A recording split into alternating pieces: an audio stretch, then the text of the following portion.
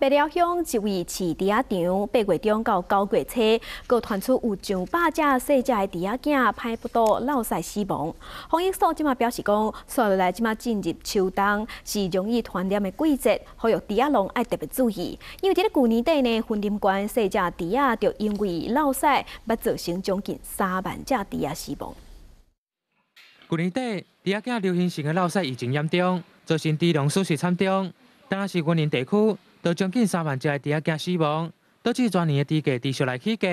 最近云林关北寮乡，各传出猪仔惊落晒造成死亡疫情。诶他在八月初的时候开始看到有猪只死亡，大概中中旬的时候开始有下痢死亡的状况。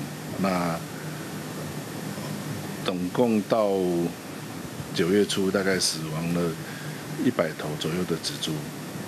啊，那我目前都已经把疫情控制下来，那现现现在已经恢复正常。当地部防疫所表示，目前这位市场的疫情已经受到控制，但是经过国内外疫情调查发现，过去受到污染的运输车辆，都是第二件落晒疫情主要传染途径，尤其是季节转换这段期间。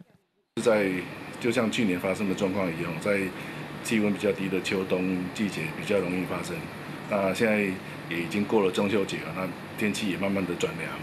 啊，也也是因为这样子，我们也特别利用这个机会来提醒所有的养猪的农民要注意这个猪传染性下痢的疫情，啊，提早做防范。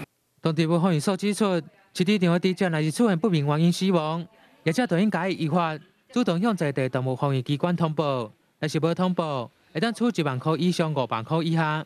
我要呼吁猪农爱做好定期消毒和零车管制，避免疫情再度来发生。记者向为你报道。